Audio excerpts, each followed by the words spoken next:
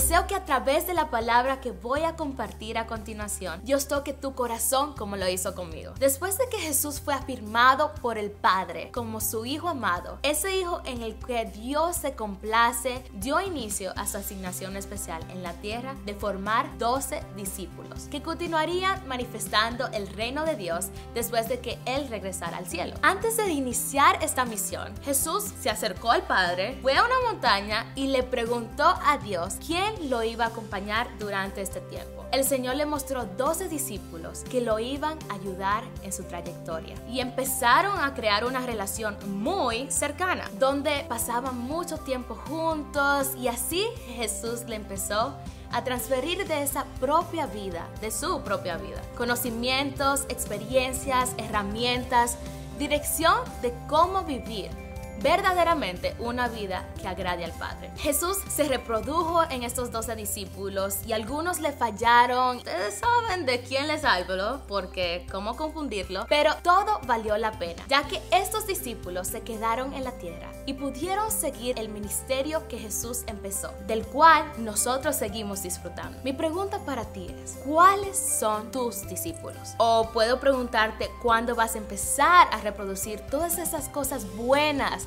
dones, talentos que Dios te ha entregado en otras personas. Hoy quiero inspirarte a que sueñes en grande, te reproduzcas en otros, pero no lo hagas en las personas que tú prefieres, porque sabemos que queremos. Primeramente pregúntale a Dios en quién hacerlo en esta temporada de tu vida. ¿Tú crees que Jesús quiso tener tan cerca a Judas sabiendo lo que él hacía en sus escondidas? Robaba. Pero ¿sabes algo? Él obedeció y hoy nos enseña que aunque a veces los resultados no sean los esperados, Dios lo usa para impactar a muchas personas. Hoy no quiero señalarte, hoy quiero iniciar esta misión contigo. Yo también me comprometo a reproducirme en otras personas. ¿Cuál será tu misión y cuál cuáles serán tus discípulos.